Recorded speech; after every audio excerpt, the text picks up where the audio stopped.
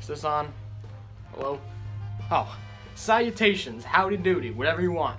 My name's Steal McGeal. You probably know me from The Life of Steal McGeal, you know, very popular documentary. It made a couple hundred dollars. Spent that money on lottery tickets, best investment of my life. Well, today, I just want to share with you a little something. So I am in the wild fields of Africa, and today we are looking for a certain kind of egg dropped by a green chicken. It makes the greatest omelets ever, and I am going to teach you how to make it and how to heist those eggs. But you're gonna join me. See, I got my trusty green glasses on. Now let's go heist some eggs. Come on, come on, come on. Hmm. All right. Sort of scouting around here. Gotta find that nest. If there's anything that'll help me. Oh,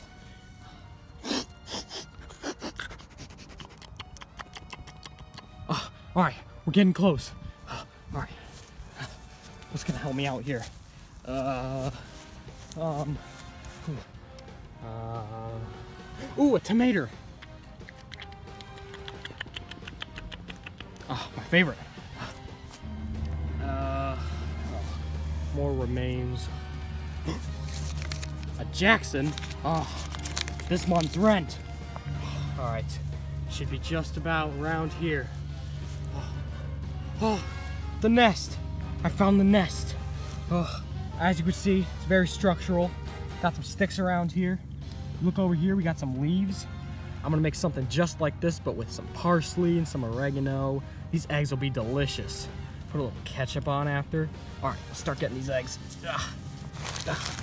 All right. Eggs are secure. Let's head back to our base.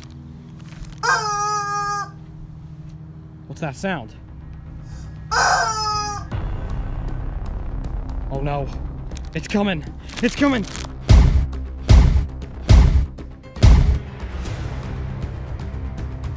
Oh, oh, oh my god. Oh, it's the mother.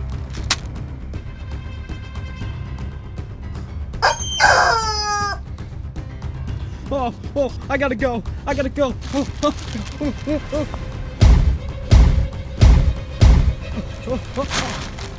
Oh, my eggs are all crushed. Thank God I made it out alive. Oh, I lost my sunglasses in the process, but it's whatever. So, anyways, you want to take a pan. You want to take your captured eggs and just sort of dump them out in there. Ugh. Now, what we want to do, what, what, what, what, what we want to do next is we're gonna leave this out in the sun to bake on its own. So follow me. Oh, all right. We don't have a stove or anything, so we're just gonna kind of let the sun do its thing. So I'll check back on this in about 20, 30 minutes, and we'll see how our omelet's coming. Peace out. All right, baby's cooking. Give it a nice little stir. Get it all nice and cooking. Ugh. Add some seasoning. Ugh. All right. Alrighty. Just a little bit of ketchup. And that, my dear friends, is how you make a rubber chicken omelet.